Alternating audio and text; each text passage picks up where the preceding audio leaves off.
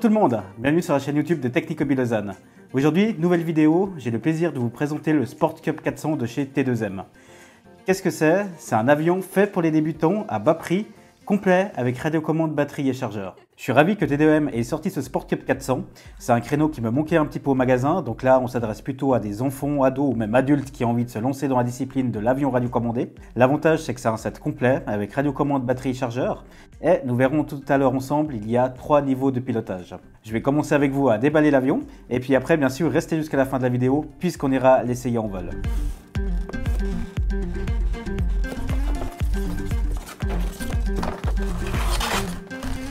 Donc comme vous pouvez le voir, l'avion est déjà monté, hein.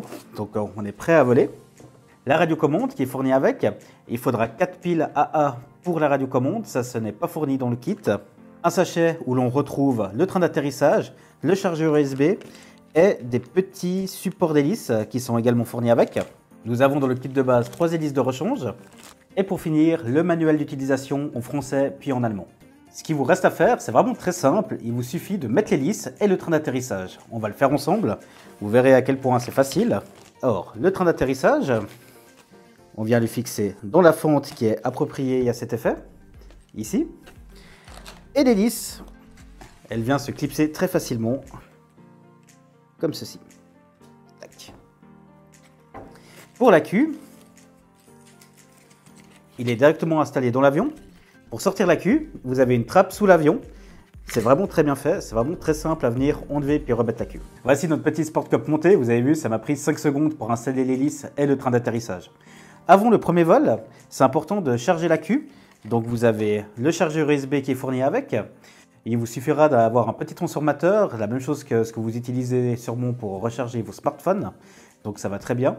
Ou sur un ordinateur, ça va très bien aussi. Vous avez dessus une petite indication LED. Donc quand la LED est rouge, ça veut dire que ça charge. Et quand il n'y a plus de lumière, ça veut dire que votre accu est chargé.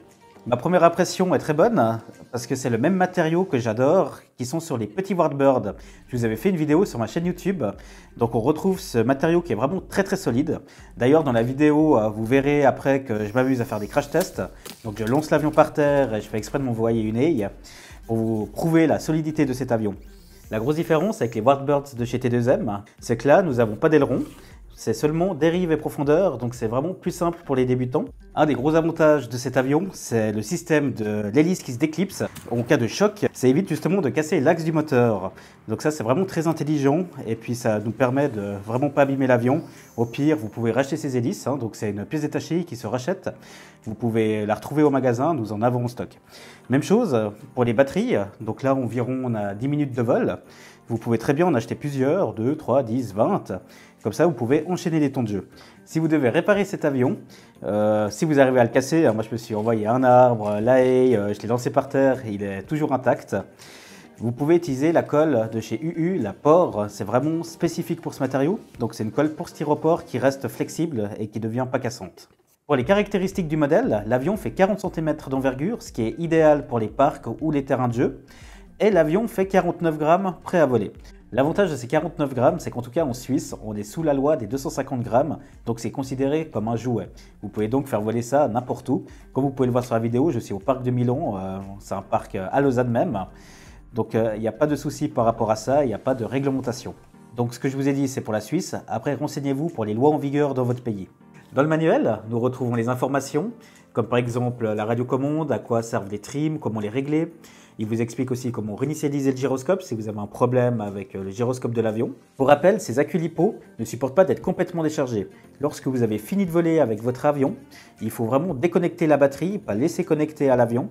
Et le mieux, c'est de les mettre en charge directement, comme ça vous pouvez les stocker chargés. Sur la radiocommande, nous retrouvons le switch avec les trois niveaux de pilotage. En mode débutant, l'inclinaison de l'avion sera limitée, donc justement c'est beaucoup plus simple à voler. Intermédiaire, l'avion est un petit peu plus vif. Et en mode expert, on peut justement faire des loopings et un petit peu de voltige.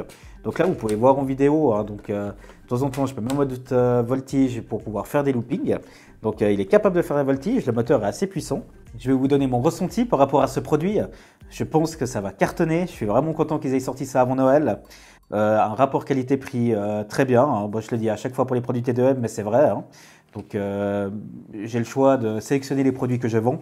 Donc, si l'article ne me convient pas, je ne le vends pas. Là, je suis emballé. Donc vous pouvez le retrouver au magasin, venez en acheter. C'est vraiment très fun.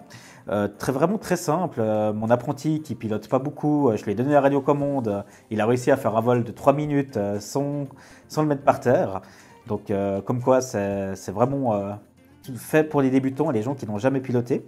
Pour un peu comparer, puisque au magasin, c'est ce que les gens me demandent. Hein. donc, ils ont les deux produits, les petits Warbirds et le Piper. Quelles sont un peu la différence? Alors déjà, le Piper, il est moins cher au niveau du prix. Et surtout, le pilotage est deux axes, donc vous n'avez pas les ailerons. C'est plus simple pour débuter. Au niveau du look, moi je le trouve très sympa, donc j'adore les Piper J3. je suis un grand fan, j'en ai même un gros de 3,60 m pour moi en électrique. Je vous montrerai une fois ça en vidéo. Le plus gros danger, c'est les arbres. Voilà, c'est que l'avion reste bloqué dans un arbre. Donc si vous allez vraiment dans un endroit dégagé, il n'y a aucune raison que ça se passe mal. Pour le train d'atterrissage, T2M a mis des grosses roues. Ça, c'est vraiment très pratique si vous voulez décoller ou atterrir avec votre avion euh, depuis euh, la route. Ou sinon, vous pouvez très bien aussi le lancer, hein, comme vous pouvez le voir sur la vidéo. Ça va, ça va très bien. Voici la liste des points positifs de l'avion. Le premier, c'est que le matériau est super résistant. Ça, c'est vraiment génial. Donc, poids léger qui permet de voler euh, n'importe où en Suisse avec ses 49 grammes prêts à voler. Les batteries qu'on peut racheter et en avoir plusieurs pour pouvoir enchaîner les temps de jeu. L'hélice de rechange, donc euh, si on en perd ou si on les casse, on peut les changer. Et surtout la facilité de mise en œuvre et de pilotage. Après, il n'y a pas de généralité. Hein. J'ai vu des enfants de 5 ans euh, déjà piloter euh, très bien. Et puis des gens de 50 ans qui n'y arrivent pas. Donc il n'y a pas de...